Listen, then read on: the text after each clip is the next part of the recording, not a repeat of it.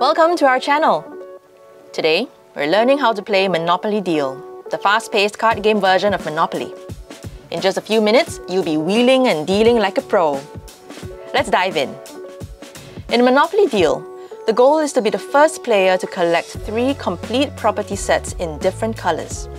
A complete property set typically consists of two or three property cards of the same color, and each card will tell you how many you need to complete the set. To set up, each player gets a reference card. Next, shuffle the Monopoly Deal deck and distribute 5 per player. Look at your cards and keep them secret. The remaining deck forms the draw pile. And that's all. You can start playing. At the start of your turn, draw two cards from the draw pile and add it to your hand. If you start your turn with no cards, draw five. You may now play up to three cards of any type in any combination. A play is considered any card you lay onto the table, such as money into your bank, property cards on the table, action cards played into the middle, and so on. You do not need to play all three cards if you don't want to. At the end of your turn, if you have more than 7 cards, discard down to 7. So what cards can you play? You can add money to your bank. Place a money card in front of you, face up.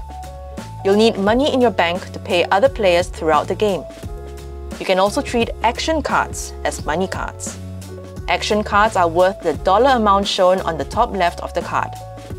That said, once you place an action card in your bank, it becomes money and can't be used as an action card for the rest of the game. You can add a property to your collection. Place a property card face up in front of you. Wild property cards can be used to complete sets of any color. Throughout the game, you can place as many properties as you want. Just remember, you need to collect three complete property sets in different colors. For example, you cannot win by collecting two red sets and one blue set. It needs to be one red, one blue, one green, for example. You can play an action card. Action cards are where the spirit of the game is and can make or break your game. To play one, read out what is on the card and follow the rules on the card. Then place it in the discard pile. House and hotel cards are placed on complete property sets. Take a couple minutes to look at the different action cards and understand how they're used.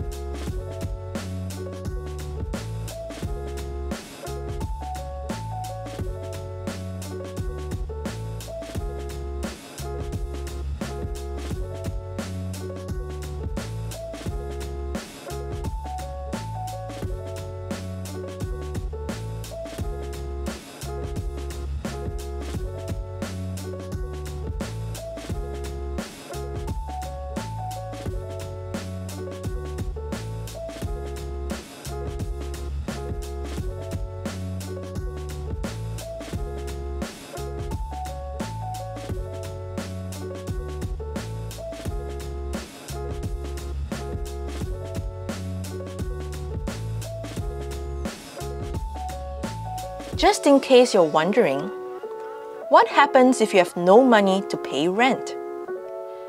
If you have properties in front of you, you must use those to pay rent. The value of the cards are in the left corner of the card. The receiving player must place the property alongside his other properties, not in his bank. If you have neither money nor property in front of you, then there's nothing else you can do. Pew!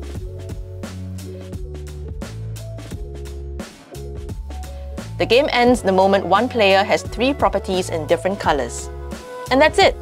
Monopoly Deal is a modern classic for good reason, and we are sure you'll have tons of fun. Thanks for watching! If you enjoyed this tutorial, like, share, and subscribe for more game guides. Let us know in the comments which game you'd like to master next.